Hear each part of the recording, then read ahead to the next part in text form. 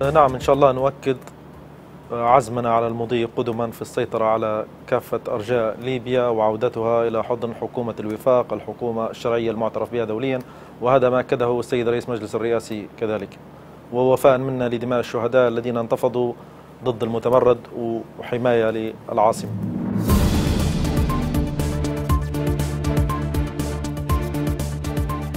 نحن كما قلنا وهذه سياسة حكومة الوفاق مرحبون بالتعاون مع جميع الدول سواء كانت العربية وغير العربية أو دول الجوار في تقوية العلاقة في المجال الدفاعي وفي عدة مجالات أخرى.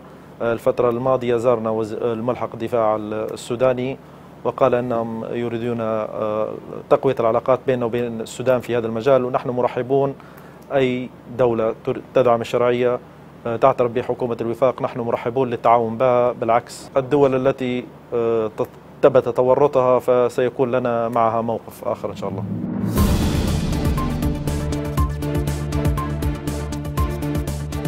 بالنسبة للألغام هي ليست ألغام فقط بل هي مفخخات على آه، أسلوب إجرامي كبير كما تستخدمه منظمة داعش بل أسوأ من ذلك لم تكن ألغام التي تستخدم بعض الألغام وجدت ألغام مضادة للأفراد وهي محرمة دوليا ولكن المشكلة كانت في التفخيخ.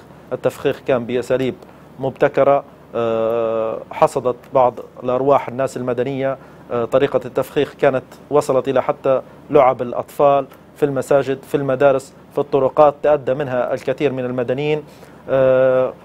قام القائد الأعلى بتشكيل لجنة مشتركة بين وزارة الدفاع ووزارة الداخلية للعمل كفريق موحد شكلت هذه اللجنة من الفنيين من أبطال الهندسة العسكرية وجهاز المباحث الجنائية وهيئة السلامة الوطنية للقيام بعملية اللي هي إزالة المفخخات والألغام ومخلفات الحرب. آه، قامت بعض الدول بالاتصال بنا لتقديم دعمها. من ضمنها طبعا تركيا يوجد لديها فريق على الأرض.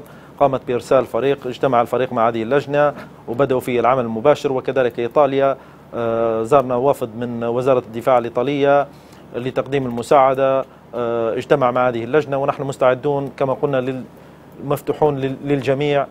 وهذا ثبت إجرام مدى إجرام خليفة حفتر في طريقة اللي هي المفخخات والألغام التي طالت الجميع. بالنسبة لتحويله كملف حقوقي تقوم اللجنة بتوثيق هذه الأفعال الإجرامية وإثباتها وسيتم آه، إعداد ملف كامل آه، تقوم كذلك اللجنة الدائمة لحقوق الإنسان والمكتب حقوق الإنسان بوزارة الدفاع بإعداد ملف تام لإحالته للمنظمات الدولية لملاحقتهم قانونيا.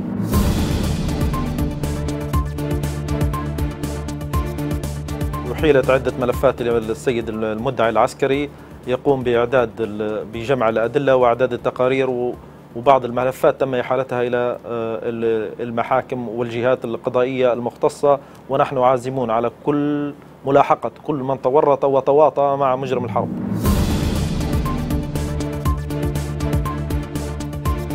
آه، طبعا بالنسبة للخطة إعادة البناء الجيش الليبي آه، قام المجلس الرئاسي في نهاية العام الماضي بالتعاقد مع إحدى الشركات العالمية المشهورة Jones Group لإعداد تصور للجيش الليبي.